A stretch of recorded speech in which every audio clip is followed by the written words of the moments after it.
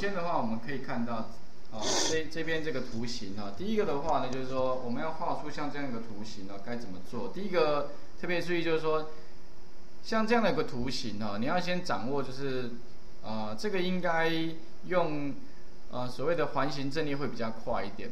那哪些是需要变变呃这个环形阵列啊？你就要先抓一下。环形阵列的话，你会看发现说这个地方应该是一个弧，有没有？这个弧呢，需要做环形阵列，而且要做几次呢？一二三四五六七八个，所以要做八次环形阵列。另外一个环形阵列呢，是这个地方有没有？外面这个这个这个弧，那这个弧怎么产生哈？你就必须要，呃，这这边的话，如果说我们要产生这个弧呢，你就必须要先产生里面这个圆。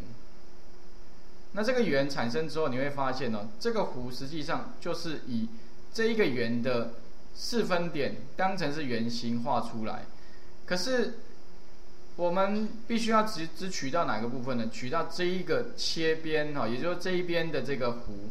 那我必须怎么样呢？删除哪些呢？删除上面这一个部分跟这一条线。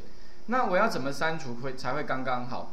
就是必须呢把这个圆有没有往上产生下一个圆的时候呢哈。刚好刚好会有个刚好会有个焦点，那这个焦点的话，就是我要删除的啊，这个删除到这个地方的一个点，所以呢，我必须除了产生一个之外的话，我要必须产生第二个。